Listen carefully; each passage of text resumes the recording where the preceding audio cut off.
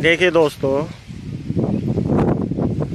हमारे राजस्थान के दौसा ज़िले में अंदर ने भारी तबाही मचाई है। ये हमारा इधर एक बगीचा है और ये काफ़ी सालों पुराना आम का पेड़ है जो ढह चुका है अंदर से। इतनी भयंकर आंधी आई है कि ये देखो, कितना भारी पेड़ था। इसको नीचे से उखाड़ दिया है अंदर ने। और अब इसके जो फल रहे थे वो तोड़ रहे हैं। अब